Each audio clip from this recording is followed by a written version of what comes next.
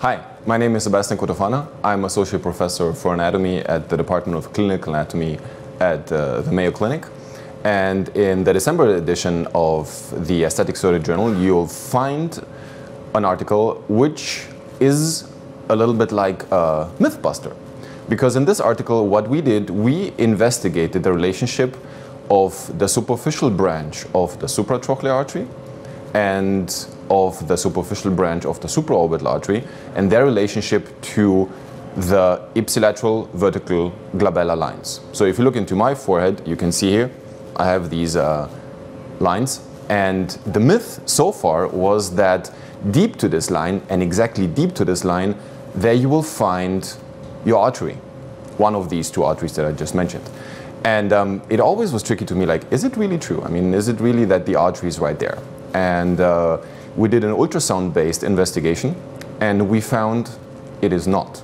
The artery is not deep to this vertical glabella line for the same side. We found out that in males is around 10 millimeters lateral, and in females it's around 8 millimeters lateral, which makes sense because females in general have a little bit of a smaller cranium than males do have. So it shows actually that the artery is not there. And this raises an important aspect when we treat the vertical glabellar lines with soft tissue fillers. Because if you, as previously assumed, think the artery is deep to the crease, then you can inject next to the crease and you're safe. Because the artery is deep to the crease. But our study showed the artery is not deep to the crease. So that means when you inject next to the crease, in the good belief that there it's safer, you might end up being inside of the artery.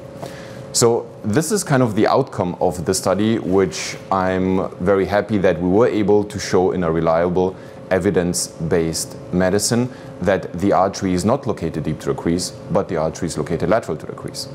And I'm looking really forward to you reading this paper. And of course, I would like to thank the journal and my co-authors and all collaborators for accompanying me in the study. Thank you very much.